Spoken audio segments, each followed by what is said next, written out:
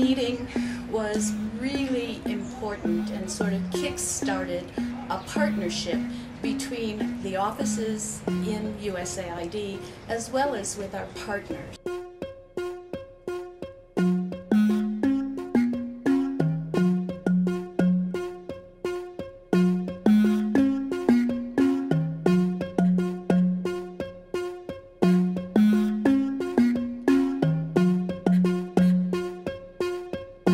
Great to see nutrition experts here um, and hear them talk about nutrition uh, within the framework of agriculture, uh, talk about nutrition independently of agriculture, uh, talk about ways of integrating it, what has worked, what hasn't worked.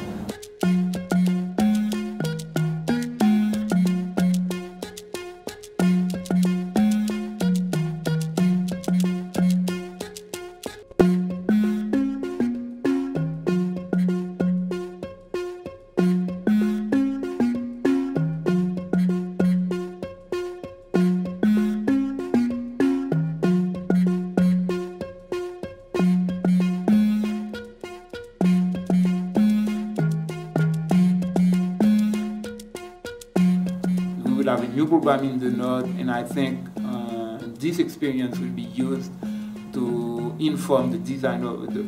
It was it has already designed, but the implementation of this new program.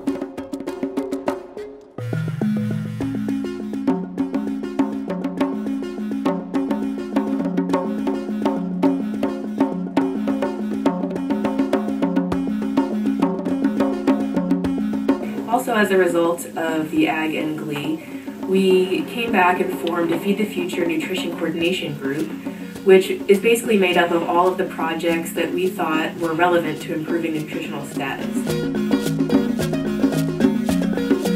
For example, in Mozambique, we are integrating school feeding and food security projects in one pilot. We are piloting a school using local purchase, using biofortified seeds, and also in introducing new nutritious food in the school menu. For good nutrition outcomes, we learned that the nutrition people and the ag people, we need to work together.